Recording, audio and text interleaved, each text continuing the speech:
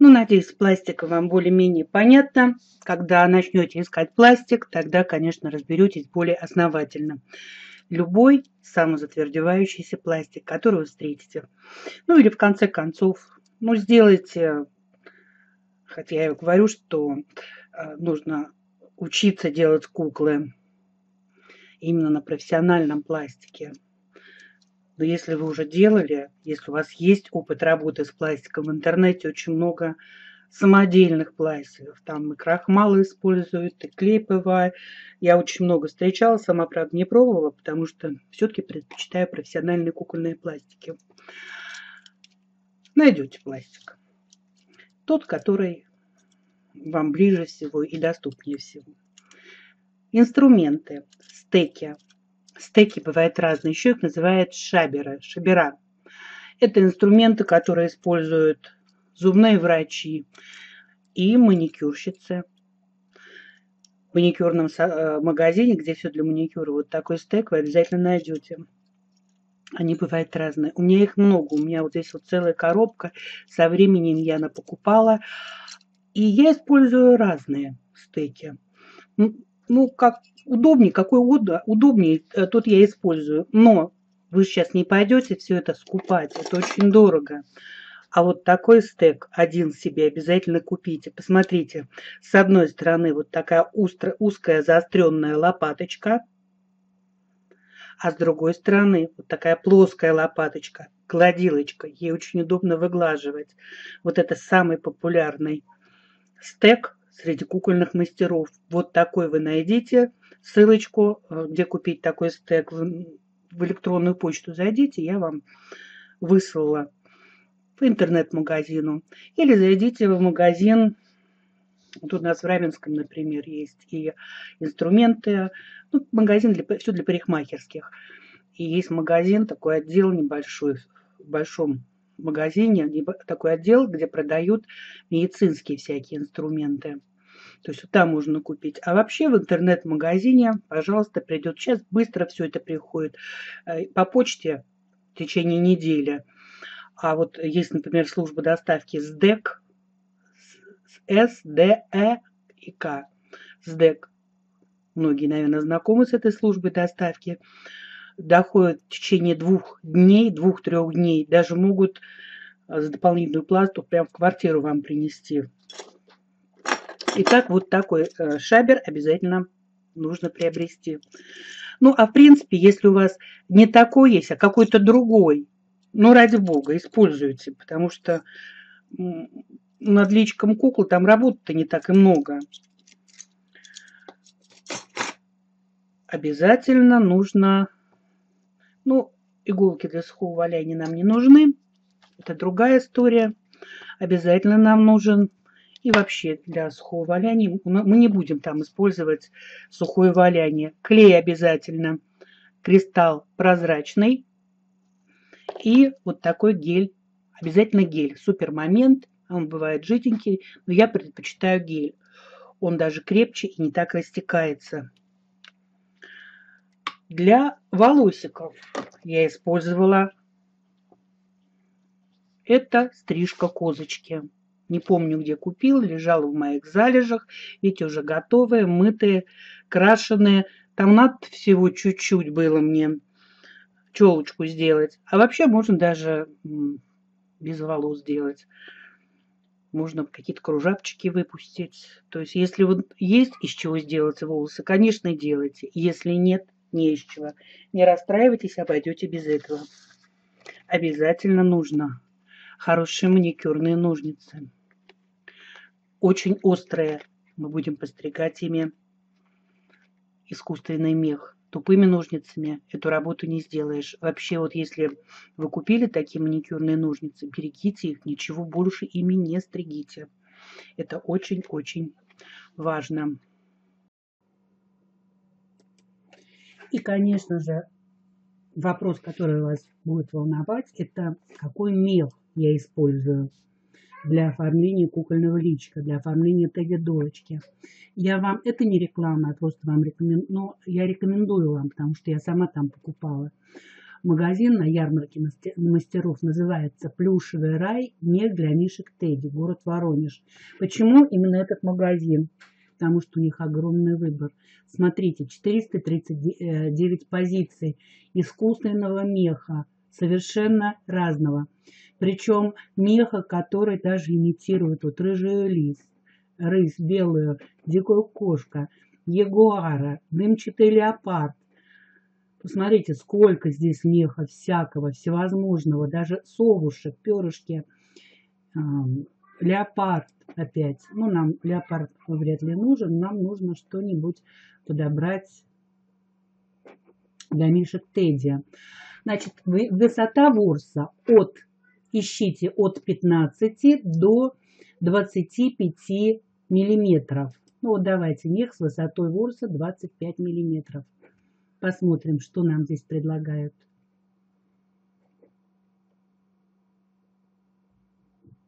Посмотрите, какой замечательный мех. Сиренево-розовый писец. Ну, мы делаем, конечно, э, девочку Тедди, да, Тедди Долл. То есть как бы я делала медвежонка, больше, ну, как бы девочку-медвежонка. Но вы можете ведь и лисичку сделать, и собачку, и зайчика, и белочку, или медвежонка. Вот смотрите, сиренево-розовый писец. Ну, вот оформить так мордочку, ну, замечательно будет. Вот такой сиреневый мишка. Ну, класс, правда, согласитесь. Персидская кошка, померанский шпиц, шиншила, Посмотрите, какой здесь богатейший выбор. Мятно-салатовый, гранат, мята, йорк-терьер. То есть здесь прям имитация именно э, имитация вот э, разных зверюшек. Выбор огромный, что вы подберете. Значит, ищем мех высотой от 15 до 25 миллиметров. Вот я сижу с линейкой, ну, больше не надо. Ну, 30 миллиметров это уже будет длинноватый мех все-таки. Его придется, тогда его придется просто постригать. Еще я использовала фетр. Нужно искать фетр толстый, толщиной 2 мм. Ну, полтора-один миллиметр тонковат, хотя можно использовать, но тонковат он. А 2 миллиметра, а 2 миллиметра то, что нужно. Для чего? когда мы будем делать вот эту брошку саму, тедидолочку, то есть внизу у нас будет подкладочка из фетра.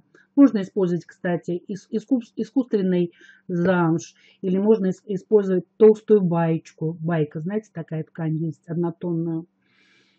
Мы будем пришивать вот эту тедидолочку а, к этому фетру, и потом уже непосредственно фетр пришивать к самой варежке.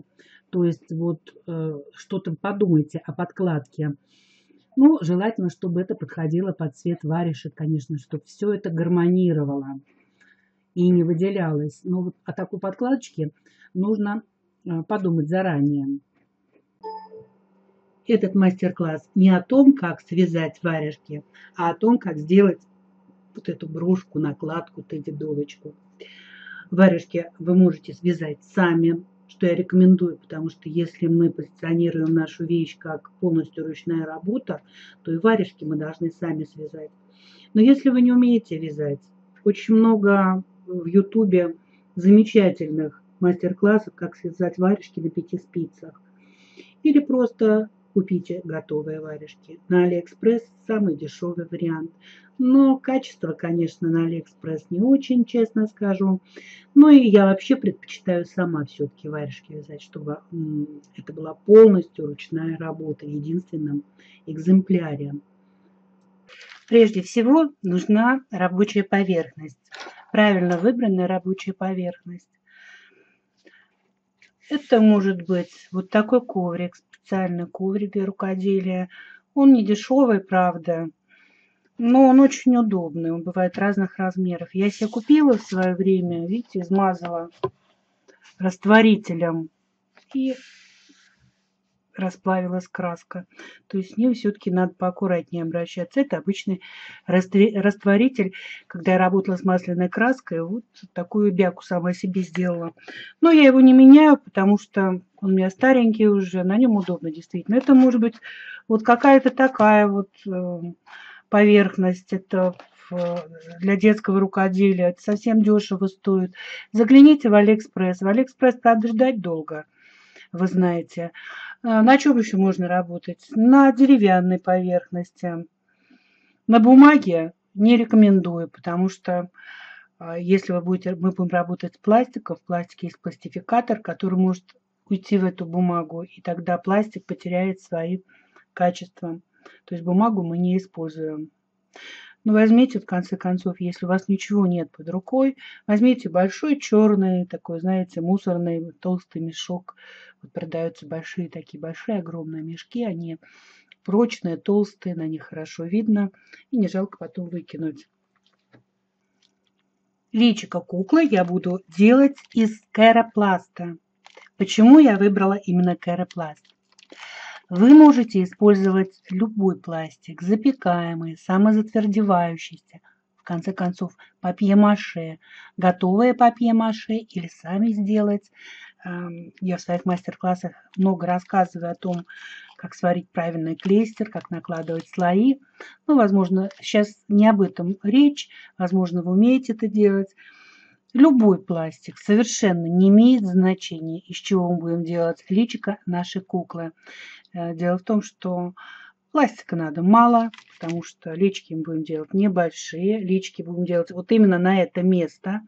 То есть если у нас все-таки личка будет твердая на варежках, и если вы вот сюда прикрепите, то, представляете, будет торчать некрасиво. То есть нам нужно личка уместить будет вот именно на это место.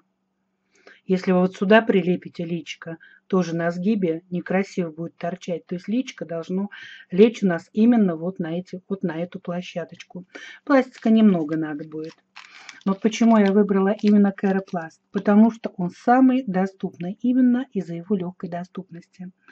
Это один из самых доступных, да не один из самых, а самый доступный, пожалуй, пластик. Его даже назвать пластиком сложно.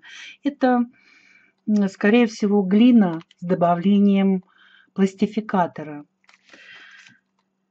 У этого пластика есть свои плюсы, свои минусы. Я вам о них расскажу. Вы увидите это все в процессе работы с этим пластиком. Но во всяком случае, вы можете пойти, если вы живете в большом городе или в каком-то небольшом городе, вы можете пойти в констовары, в какой-то магазин, где канцтовары продаются. Это самый простой вариант, если у вас нет даже магазина для рукодельницы, для творчества. Сейчас эти магазины очень популярны, и во многих городах их организовывают. В обычные канцтовары, где школьные принадлежности. Там в этот пластик найдете, потому что этот пластик любят использовать в школах вот именно для школьников, для рукоделия. Я не знаю, почему именно этот пластик выбрали. Э, фирма Кахинор. Ну, может быть, из-за раскрученной фирмы. Ну, не знаю, честно, почему этот пластик выбрали, потому что работать у него очень много минусов, в принципе. Кахинор это чешская, наверное, фирма, да? Ну, доступно. Раньше он вообще копейки стоил. Сейчас он, конечно, подорожал не буду углубляться в политику, с чем это связано, но сейчас он подороже. Но нам нужно немножко, нам нужно будет наличка чуть-чуть. То есть у нас вот из этой пачки, в которой 300 грамм, выйдет ну, для трех пар варежек, наверное. Ну, для двух-то это точно. Для двух сто процентов. Сейчас посмотрим, сколько. Но они продаются и маленькие тоже, вот такие маленькие пачки. Пачки побольше есть. Ну вот у меня 300 грамм. У меня внук учился в школе. Им велели купить этот пластик, и он остался. И вот он лежит. Я думаю, а что у меня лежит? Дай-ка я его использую. Потому что вот для куклы, вот для сложной куклы, я бы не рискнула его брать для изготовления. Хотя есть мастера, которые делают куклы из каропласта. Но я как-то вот пальчики все-таки работать с ним. Вот лички мы легко сделаем, а вот пальчики делать, ручки, это, мне кажется, потому что основной недостаток этого пластика он трескается. Он очень сильно трескается. Но мы будем с ним работать, мы будем шкуривать, долеплять, эти трещины убирать. Я покажу вам, расскажу, как с ним работать, чтобы трещины минимизировать, чтобы их было, было как можно меньше или вообще они не появлялись. Все это реально. Так вот именно поэтому я выбрала именно этот керапласт. Ну, буду называть его пластиком, хотя еще раз говорю, что все-таки вот здесь даже написано, что тут написано керамика, моде, ну, чуть не по-русски, ну ладно. Но это все-таки глина с добавлением пластификатора. Нужны обязательно любые влажные салфетки. Но лучше, знаете, такие бывают с кремами. Это не надо. Просто обычные влажные салфетки, самые дешевые. Они нам нужны обязательно. Я беру пакет с каропластом и разрезаю, как показано. Вот он, этот пластик. Видите, какой он мягенький, очень податливый, очень приятный. При работе с этим пластиком запомните первое правило. Ни в коем случае как можно меньше воды. Если вы будете использовать воду, то пластик будет очень сильно трескаться. Но закрывать пластик влажной салфеткой вот так вот нужно обязательно, иначе он, это пластик самозатвердевающийся, и он застывает на воздухе. Вот так вот закрыли и убрали целлофановый пакет. Это правило хранения вот этого пластика. Воздух отсюда выжимаем. Это вот основное правило хранения этого пластика. Нам нужен листок. Ну вот я использую формат А4, потому что я вам буду этот эскиз высылать по почте. А вообще рекомендую использовать э, вот такую миллиметровую бумагу, очень удобно. А, потому что здесь, вы знаете, вот на миллиметр все разбито. Рисовать ровно. Очень удобно. Но я вырезала форматом А4, потому что я буду вам высылать по электронной почте. Значит, беру сантиметр или линейку и замеряю вот от костяшек до этих костяшек. Сколько? Ну, у меня 5 сантиметров. Значит, я сделаю поменьше, потому что, значит, головка у меня должна в общем, ну, чуть-чуть, может быть, повыше, но где шапочка будет, где волосы будут, вот где вот эта верхняя часть. Я замерила 5 сантиметров, но отложу я поменьше, 4,5 сантиметра. То есть на пол сантиметра поменьше откладываю. И прорисовываю вот раз, два, три, четыре и пол сантиметра. И прорисовываю вот такой вот яичко. Форму яйца вот здесь пошире, внизу поуже. Вы видите, что миллиметровая бумага позволяет мне сделать это достаточно ровно. Прорисовала. Теперь, э, отложив 5 миллиметров, я делаю, вот такая у меня будет заготовка из, из фольги. То есть я делаю для фольги эскизик на 5 миллиметров меньше.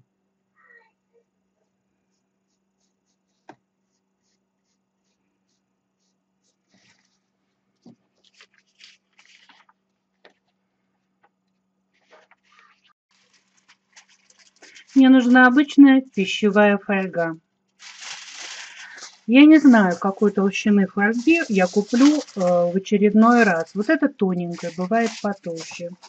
Поэтому я отложу 60 сантиметров фольги.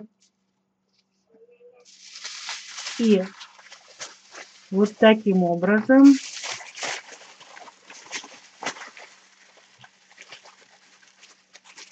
леплю личика, ну, как бы маску.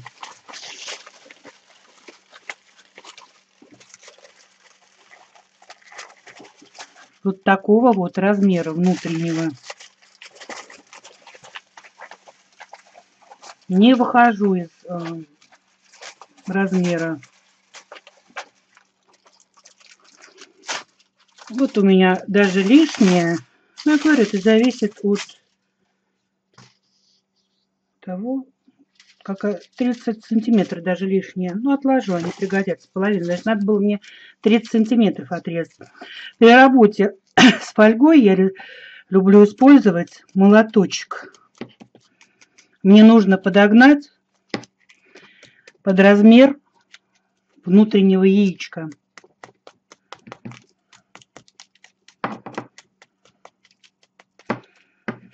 И должно быть выпуклое. То есть вот таким образом.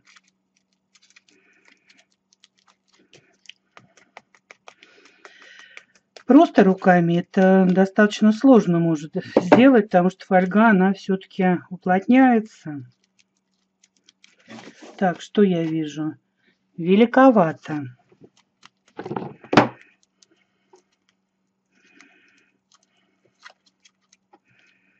Вообще даже знаете, как можно сделать? Вы можете даже вот так отрезать фольгу.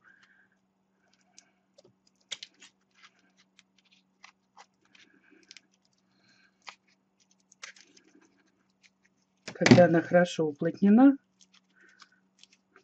вы видите, что форму я эту не теряю внизу. Уже сверху шире, то есть форму яичка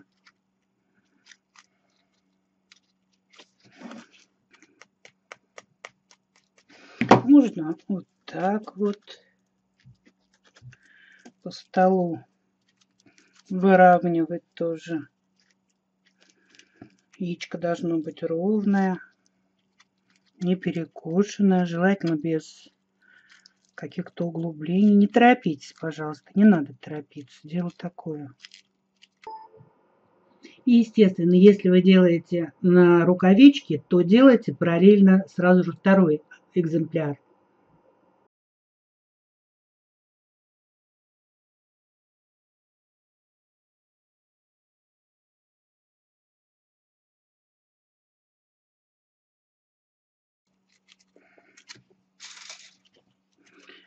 Молоточком вот так вот. Самое главное, не торопитесь сейчас, чтобы было ровно. И чтобы вот эта поверхность не была плоская, чтобы она была вот так вот. вот если смотреть, чтобы была дуга. С этой стороны ровная дуга. И с этой стороны э, следите, чтобы дуга была ровная.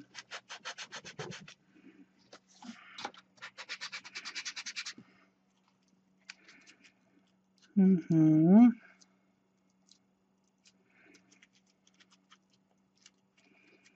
Пальчиком вот так вовнутрь надавливаю. И у меня как раз форма дуги и образуется. Видите, как я достаточно долго, не быстро все это. Ну вот здесь пластик добавится. Не нужна же нам, э, у нас здесь будет какая-то прическа, шапочка, у нас здесь что-то будет дополнительно. Еще пластик будет.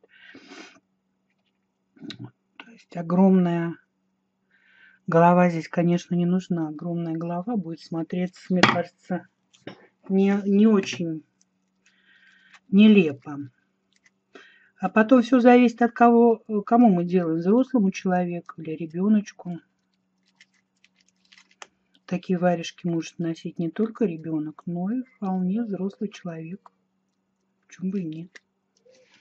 Ну, вот что у нас получилось. Теперь точно таким же образом я делаю вторую, тем более вот 30 сантиметров мне хватило.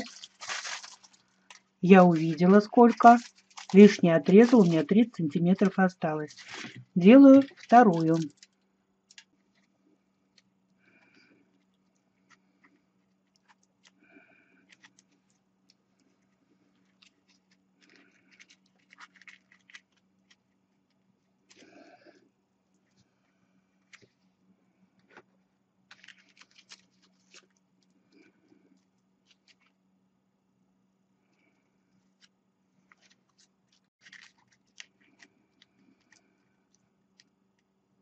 Конечно, ничего страшного особенного не случится, если у нас, ну, чуть-чуть будет расхождение в размерах.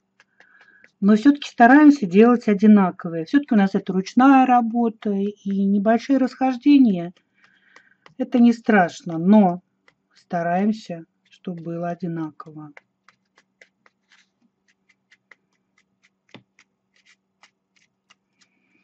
Чтобы сильно в глаза не бросалось отличие. Можно вообще сделать девочку и мальчика, правильно? Будет очень забавно смотреться.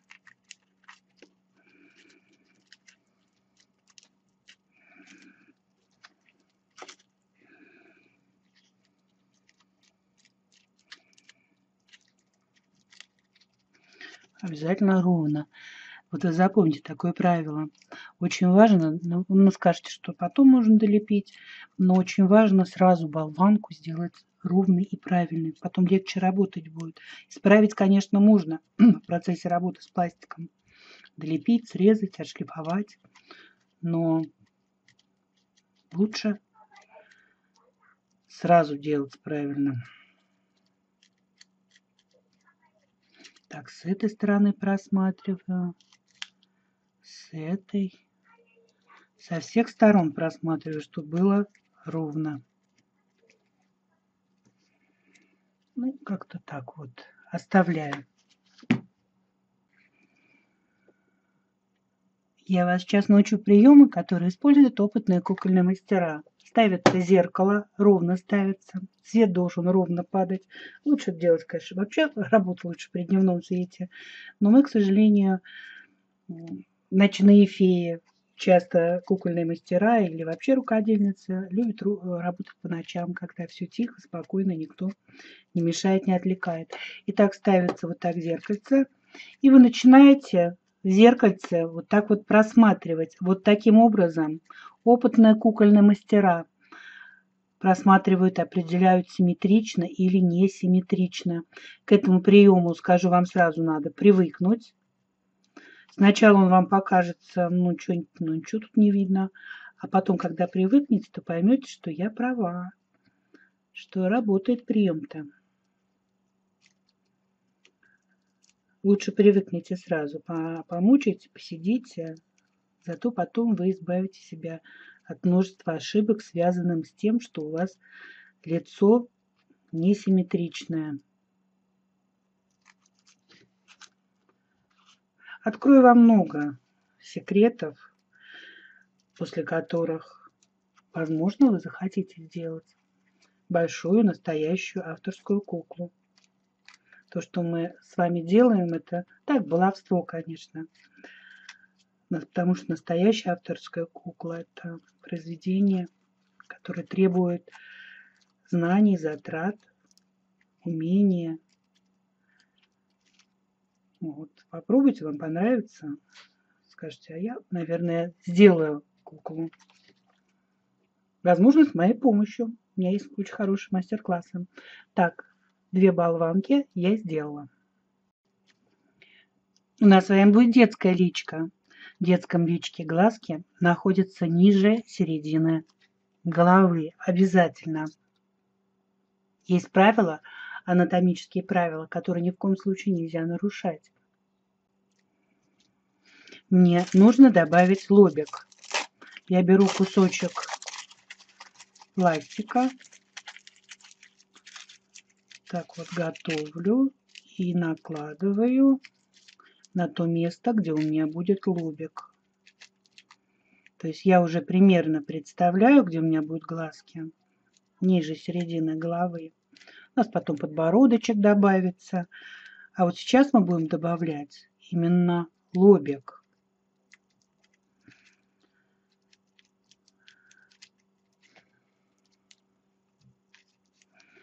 Чтобы ровненько было. Постучу молоточком. Нам нужно, чтобы у нас держался пластик, э, фольга. Для этого можно взять кусочек аэропласта. Маленький-маленький кусочек. так его подмять. Ну и как бы отклеить, да. Вот у нас уже ничего тут не елозит. И мы можем спокойно с вами сразу сделать ровно.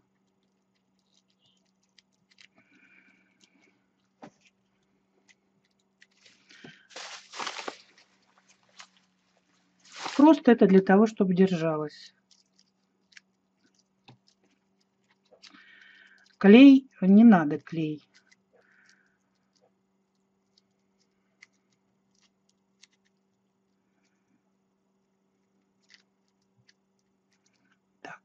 Все держится.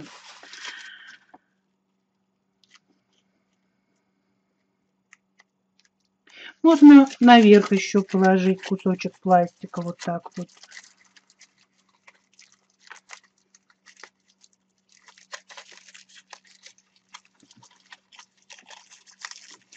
Заодно залепим вот эту дырочку.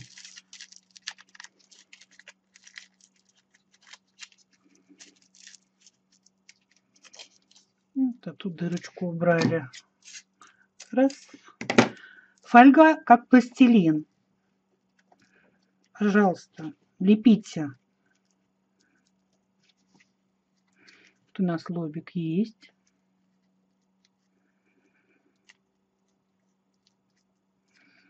Слежу, чтобы лицо было, не было плоским. Ни в коем случае плоские лица это у монголов, да, вот у восточных людей. У них лица плоские, у монгольской расы.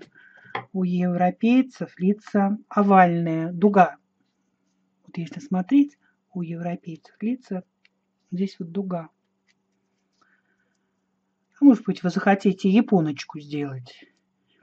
Тогда, пожалуйста, плоское лицо.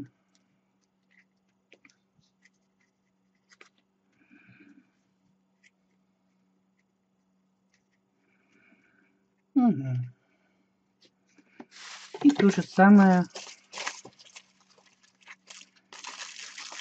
со второй.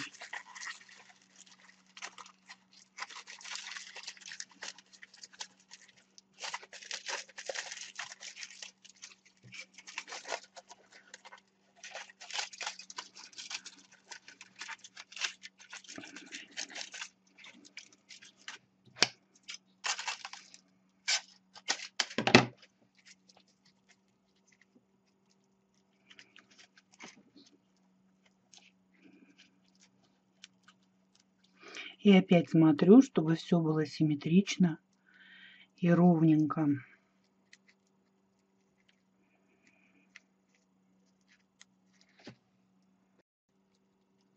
Вот эта поверхность обязательно должна быть у нас плоской.